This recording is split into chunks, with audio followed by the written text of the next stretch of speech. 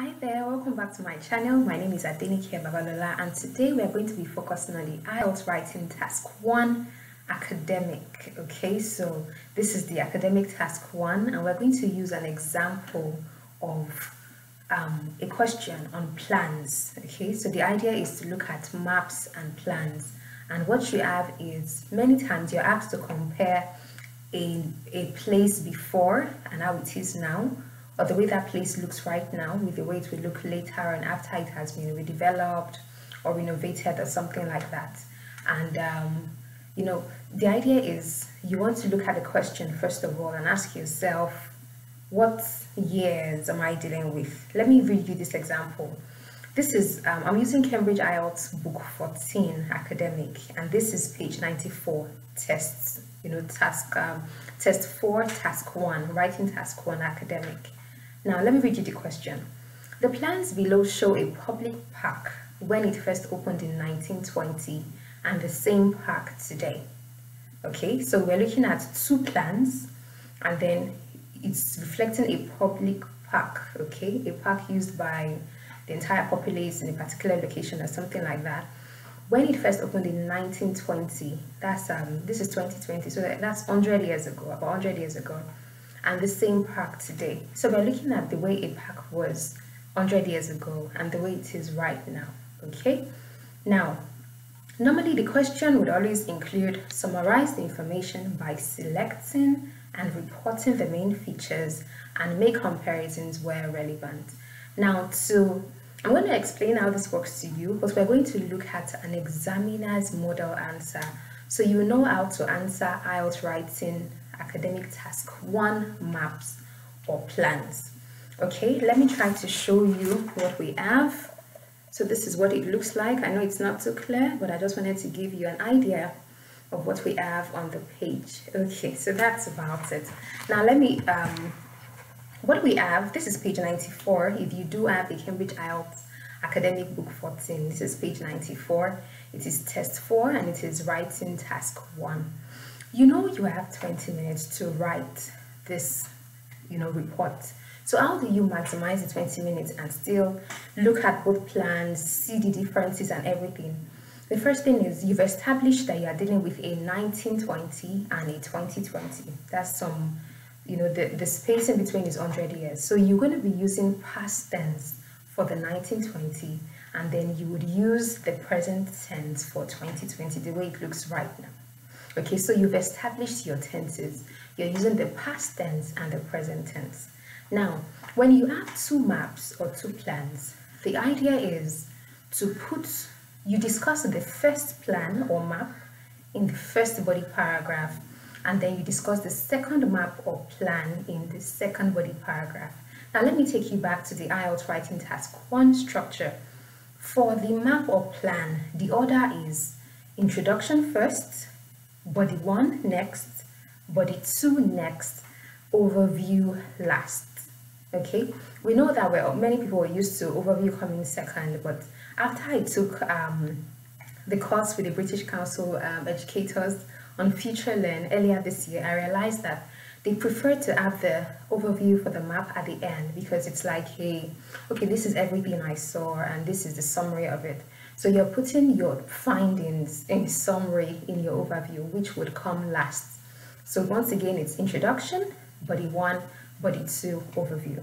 So your introduction is going to be a summary of your, is a paraphrase rather, of the question, okay? So you have um, the plans illustrate the initial look of a public park in 1920 at its um, establishment or at its initial establishment and its current outlook okay? Or you know or how and how it looks like at present something like that. Well when we're writing we'll do it together but i just wanted to give you an idea of what your introduction would look like.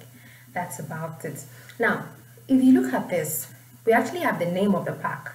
The park is grand park okay? So when you're writing your introduction you want to tell us okay? So the park the plans illustrates the grange park when it was initially established in 1920 and how it looks like at present okay so um, well in 1920 what i can see in 1920 the park was named grand park But today, in the second plan, it is called Grange Park. So the first thing you notice is a change in the name of the park. Okay, so that's it. Now, once you have established your tense and you know what your introduction would look like, let's, you know, at least look at the plans to see what we have in them. Looking at this, I can see a fountain in the center. I wish there was a way I could show you this. Let me see. If this, okay, it's not too good. No, no, no. It's not too good, but let me see what I can do. Okay, so um, in here, there's a fountain. Okay, here you have a stage for musicians. Down here, you have a rose garden. You also have a rose garden up here another one on this side. This is the entrance in the middle and here also you have another entrance. There's a glass house on this side. You have some seats around and then there's a pond for water plants here and another seat here. So that's what it looked like in 1920 when it was initially established but what we can see here is all the rose gardens that were scattered about in the previous one have been brought together into the center of the park. Okay? And this stage for musicians has become an amphitheater for concerts. Now the fountain at the middle of course has been displaced okay? So you just have the rose garden occupying its position and around it all the seats that were scattered around before and now um, around the rose garden. The entrance you know the two entrances are still intact you have the one up here and down here just it like that for now we're going to come back to the language of the maps of plants Okay, so you have a cafe up here. It's occupied the position of one of the rose garden. Then the glass house has been replaced by a water feature down here. The pond for water plant has been replaced by the children's play area and um, am I missing anything? That's about it. Okay, so I know that wasn't clear. I'm so sorry, but I just didn't want to talk without showing you what I was doing. I know it wasn't clear, but I just wanted you to have an idea of what you have here. What I'm going to do is, at the end of this video, I'll put a screenshot of um, this question of this page so that you can look at it and then, um, you know, get the idea in that sense. Now, I'm not going to be giving you my own explanation of this. I'm going to read you what an examiner wrote so that you can, this is like um, experiencing it the way it comes from the manufacturer or something like that. Of course, this is just an example, but it is an example of a very good answer. So if you turn your book to page 134, you would see what the examiner wrote. But let me make something clear. When you see a map, that's you see maps or plans in the IELTS writing academic task 1, what you want to do is look at the previous one. What things were there? Where, where were those things located? You know, and remember that it would always give you the cardinal points the north, the east, the south, and the west, okay? So you should always take note of them. Though in this case, it looks like you weren't given. Let me, let me look at it again. Yes, you weren't given in this case, but in, in many of them, you actually have the cardinal points provided. And so you know that you can also have the northeast, the southwest, and the rest of them. So it's also important for you to be familiar with the cardinal points. Now, I'm going to read you the examiner's model, okay? Um, so this is it. Grange Park was opened in 1920, a rectangular area with access from Arnold Avenue on the north side and from Eldon Street on the south side. There was a fountain in the center with a stage for musicians situated center left, a glass house to the right of the Eldon Street entrance and a pond for water plants in the northeast corner opposite. Around the edges of the park, there were rose gardens with seats nearby for people to smell the flowers and listen to music. That's what you have in the first paragraph. Now in the next paragraph we have the park has altered considerably since then. Now there is one large-ish rose garden occupying the central area where the fountain stood and with seats all around it. One of the smaller rose gardens remains on the north side of the park. The bandstand stage for musicians, in bracket, has also been replaced by an amphitheater for concerts and associated seating. The glass house has gone and in its place is a water feature. Similarly, where the pond for water plants stood, there is now a children's play area with a cafe nearby. Access to the park is still via the two original entrances, but there is now a third entrance near the water feature from an underground car park. So I've read you body one and body two. Now this is the overview at the base. Despite the apparently significant changes, the park retains the basic elements of flowers, water, sitting and music with the addition of a cafe and a children's play area. That's it. Okay, so yes, there's no introduction here. Well, um, that's why they say that this is just one example out of many. It's written there that there are several approaches. But we know from you know what we've learned that should have your introduction paraphrased and then you should you know you go on to body one and body two. Did you notice that the examiner gave us the first plan in the first body paragraph describing what it is or what it was then okay was opened it says it was opened in 1920 it was a rectangular area with access from Arnold Avenue okay on the north side. Now let me go back to the page so we can look at it yeah so you have the, the north side is um, this very top here okay so you have Arnold Avenue here. Then it says um, that's on the north side and from Eldon Street on the south side. So you have this is the north this is the south okay so you have Eldon Street here you have the north you have Arnold Avenue up there now it says um, there was a fountain in the center I showed you that I'm so sorry about this lighting issue. I, I really wish there was something I could do to fix it, but I'll definitely get there. So this is the fountain. You can see that in the center. Then um, it says with a stage for musicians situated center left. Okay, so this is center left.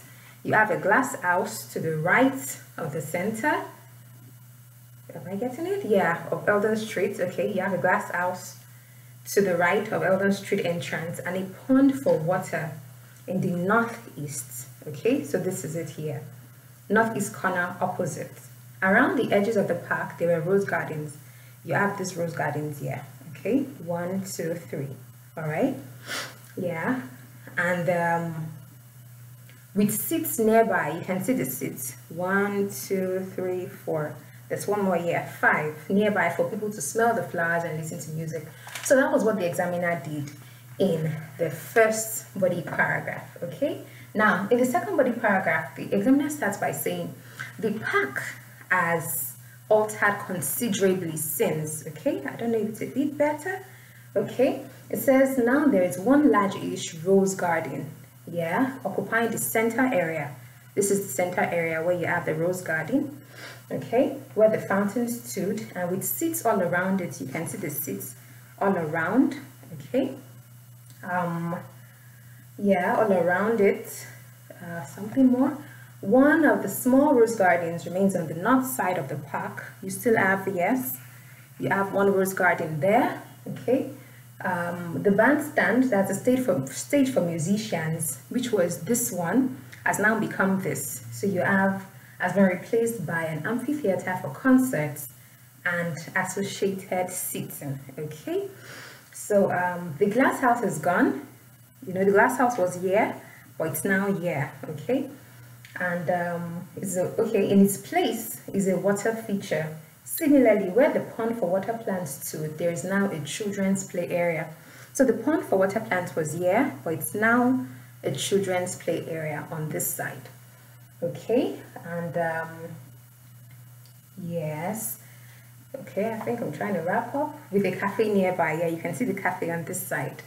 Okay, access to the park is still via the two original entrances. You still have this entrance at the um, Arnold Avenue and the entrance at Eldon Street. So finally, but there is now a third entrance near the water feature from an underground car park. Yes, can you see this? There's this underground car park on this side. Okay, so in conclusion, as you know your overview now, it says, despite the apparently significant changes, The park retains the basic elements of flowers, water, sitting and music with the addition of a cafe and a children's play area. So I know it's not perfect, but I'm trying to show you what we have once again. And so, sorry, it's quite hot here. So that's what this looks like, okay? I didn't want to just speak about the maps and plans without showing you something real. And this is what it looks like, okay? When you have maps or plans, your goal is to look at the previous plan, that's the first plan or map. What can you see there? Then when you go back to the second plan, it's now a case of what was there before, what has been replaced, what is there now, or what they intend to add. So you're looking for additions, replacements, um, new constructions, and the rest of them. That's the way the IELTS Writing Academic Task 1 map or plan works. So I hope that you've learned today. Um, once again, if you need um, if you need feedback for your writing, let's say you've been writing on your own and you really want somebody to, you know, take a look at it for you, please send me um, an email to adenikembabalola at gmail.com. I'm going to add my email address to my description box, so please make sure you check it. So once you reach out to me, I'll be ready to help you um, assess your writing to see if there are things that need to be fixed or if you're ready to go. okay, so um, Thank you once again for joining me today. If you want to take the IELTS mock test, please visit takeielts.net and um, of course you find the link in my description box. And if you do need to improve your English, please visit englishnaija.com. Once again, I am happy to share all this knowledge with you and I hope that it helps you with your IELTS preparation. Take care. Bye-bye.